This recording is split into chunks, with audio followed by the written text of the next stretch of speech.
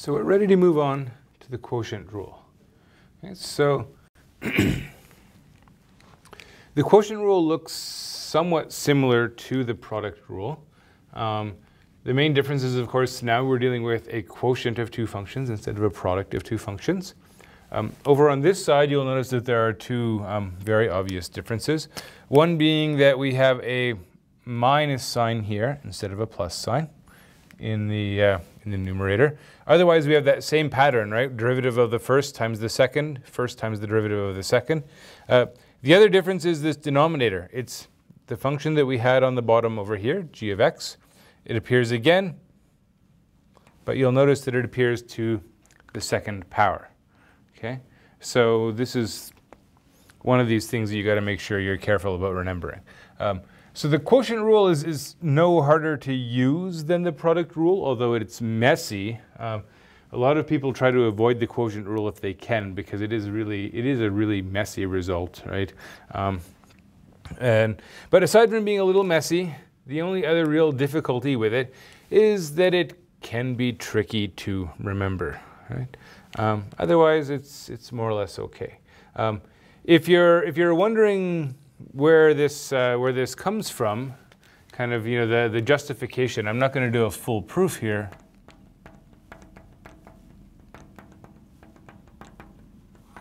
Um, if we were going to look at the difference quotient, right?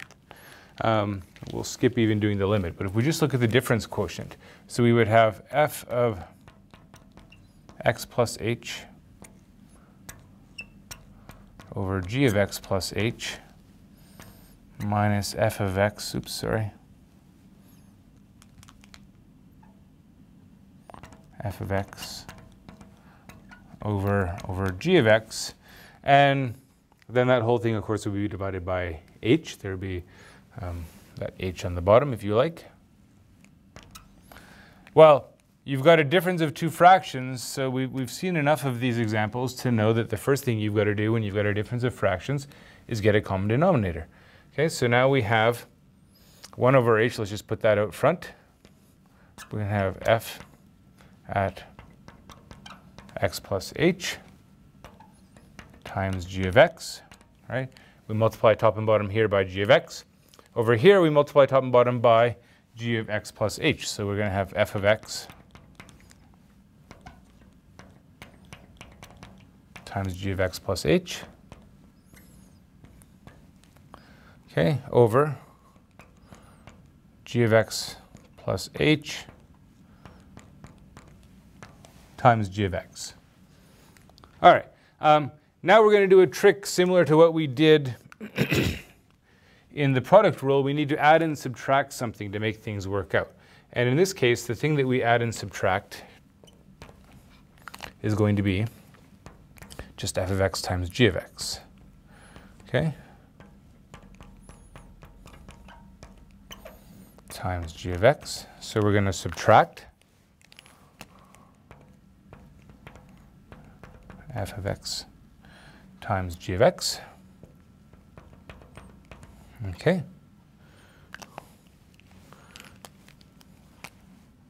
Minus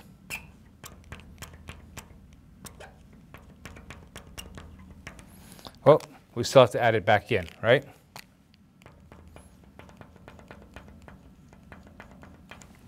Okay. So we have that whole mess.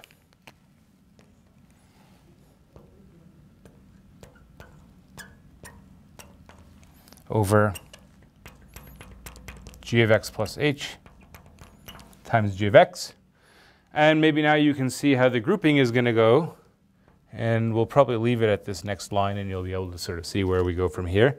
Um, here I'm going to factor out a g of x from the, uh, from the first one. So we're going to have the following. We're going to have, so 1 over h times, well, let's even leave it like this. g of x plus h times g of x. Let's leave those denominators out there. Times, well, we're going to have this.